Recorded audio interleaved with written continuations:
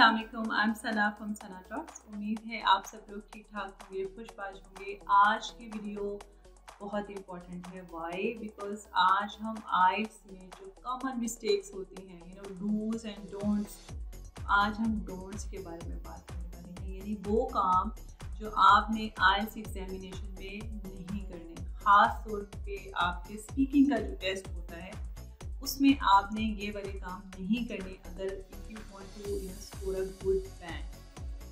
सबसे पहला काम जो आपने नहीं करना आपने आंसर्स को मेमोराइज नहीं करना। क्या होता है स्टूडेंट्स को चूँकि क्रेमिंग की आदत होती है स्कूल से ही तो वो आंसर्स को क्रैम करना शुरू कर देते हैं और यू नो कॉमन जो क्वेश्चन होते हैं, उसके बारे में क्रैमिंग कर लेते हैं। तो for your kind information examiner को पता चल जाता है आपने कौन सा आंसर जो है वो क्रैम किया है और कौन सा आंसर आप अपने पास ही दे रहे हैं। तो भी आपने आंसर्स को मेमोराइज नहीं करना आपने लैंग्वेज को मेमोराइज करना है। आपने लैंग्वेज को लर्न करना है। तभी आप एग्ज़ाम स्पीकिंग के एग्ज़ाम के टाइम में आप आंसर कर पाएँगे। Otherwise you can not answer तो आपने ये बात जहन में रखनी है। तो दूसरी बात जो स्टूडेंट्स uh, करते हैं वो ये है कि बहुत सारे लॉन्ग अनफेमिलियर जो वोकेबलरी के वर्ड्स हैं, उसका इस्तेमाल करें फिर क्या होता है? खुद ही कंफ्यूज हो जाता है।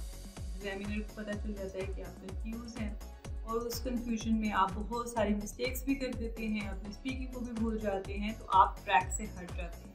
तो आपने छोटे वोकेबलरी वर्ड्स का इस्तेमाल करना है फीमिलियर वोकेबलरी वर्ड्स का इस्तेमाल करना है लॉन्ग वोकेबलरी वर्ड्स का इस्तेमाल करने की बिल्कुल भी ज़रूरत नहीं तीसरी चीज़ बहुत सारे स्टूडेंट्स एक्सेंट की तरफ़ बहुत ध्यान देते हैं। जब आप एक्सेंट की तरफ़ ध्यान देते हैं तो आप जो करने वाला काम होता है, वो नहीं करते और सिर्फ़ एक्सेंट में ही लगे रहते हैं।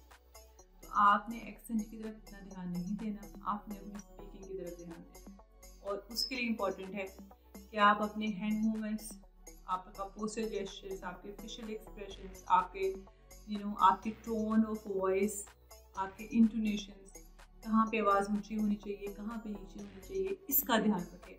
अपार्ट फ्रॉम दिस के आप एक्सेंट का ध्यान रखें। जब आप इन चीज़ों का ध्यान रखेंगे, आपका एक्सेंट ऑटोमेटिकली अच्छा हो जाएगा। राइट तो ये तीन चीज़ें जो हैं, आपने आयस के स्पीकिंग के टेस्ट में बिल्कुल भी नहीं करनी। ओके और एक और चीज़ का भी बहुत ज़्यादा जो है वो किया जाता है। क्या? एग्जामिनर ने आपसे आंसर क्वेश्चन पूछा?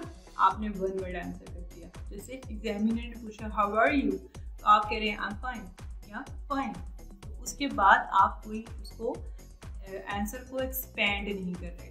तो आपने अपने आंसर को जो है वो डिटेल्ड बताना है इन फुल बताना है। आपको आंसर को डिटेल बताना आना चाहिए इसके लिए। अगर आपको नहीं आता तो पहले प्रैक्टिस कर लें।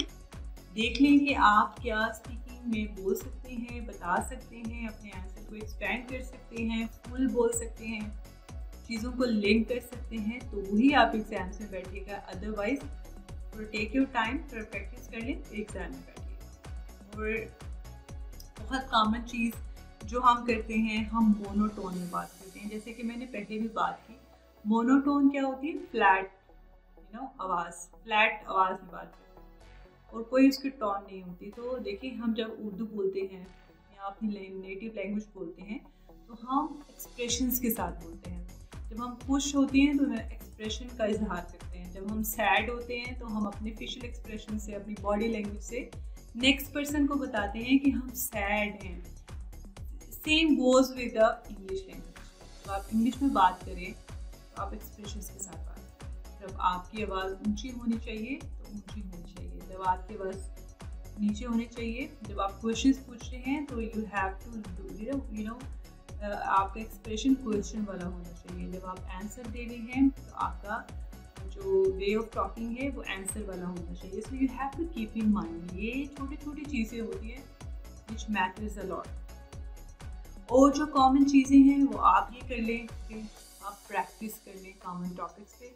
Which is very common thing you know आप इस पर प्रैक्टिस भी कर सकते हैं। और जो आखिरी मिस्टेक जो स्टूडेंट करते हैं and I say to them don't do this कि बहुत सीरियस होके अपना स्पीकिंग का एग्ज़ाम देते हैं।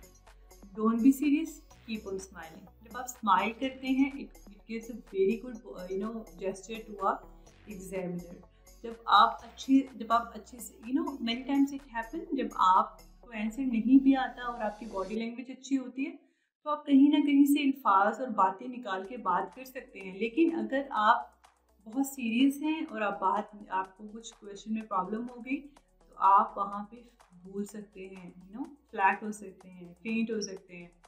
So for that keep on smiling जब आप स्माइल करते हैं, आपका जो नर्व्स हैं, वो रिलैक्स होते हैं राइट तो these are the tips you know ये डोंट्स हैं। आपने नहीं करने आज के एग्ज़ाम में। सिर्फ़ जो आखिरी बात है, वो ये है कि आपने स्माइल करनी है। वो सीरियस नहीं रहना राइट तो इनको फॉलो कीजिएगा। अगर आप चैनल पे नहीं हैं चैनल को सब्सक्राइब कर लें बेल के आइकन को क्लिक कर लें, ताकि आपको टिप्स और ट्रिक्स का पता चल सके कि आइल्स एग्ज़ाम को अपेयर करने के लिए आपको क्या करना चाहिए।